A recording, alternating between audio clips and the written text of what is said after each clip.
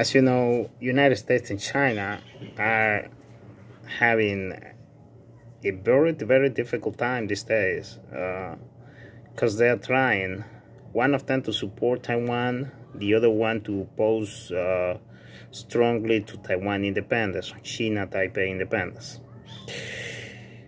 And, uh, you know, some people says, oh, this is going to be the reason why the third war uh, is going to uh, will go through in the future because Ukraine has not capacities to defeat Russia uh, unless NATO uh, go and, and, fight fight for Ukraine, which looks like it's not going to happen because they realize that Russia is stronger.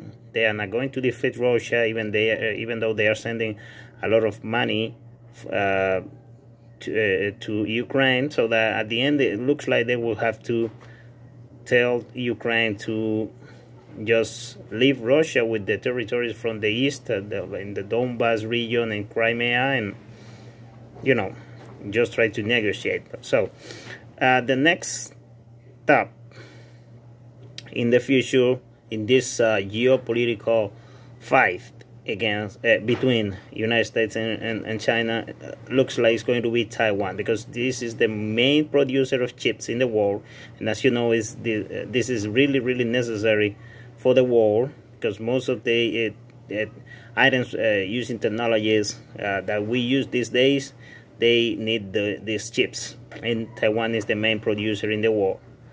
And for the United States, it's not good news that this is going to be in China's hands because China is his enemy, a political enemy. So uh, China continues saying, well, Taiwan is my province. It's a province in rebellion. It's not an independent country, but the United States and like 13 countries in the world recognize uh, Taiwan as, a, as an independent country. But every every de decade, decade, the countries supporting Taiwan as an independent country, they are slowing down they are decreasing and is increasing the amount of countries that are supporting China as the only one China in the world. In Paraguay, they had elections the last week or two weeks ago. I am not clear uh, about it, but it, it it happened in May 20, uh, this May 2023, and they decide to vote for the for the uh, ruling party to continue in power. The ruling party was proposing to keep the relationships the relationship from, uh, between this country and Taiwan.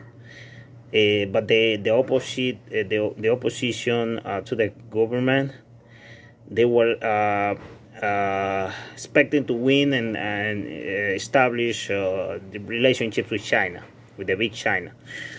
it didn't happen. so it, it won't happen but some other countries in Central America, like Nicaragua, Panama, Dominican Republic, Salvador, they have recognized in the, the recent years that there is only one China, and that one is China, Beijing, not China, Taipei. Only because of the support of the United States, Taiwan is still thinking about independence, but China is not willing to uh, let them go as an independent country, but saying, well, this is part of my territory, I want them back.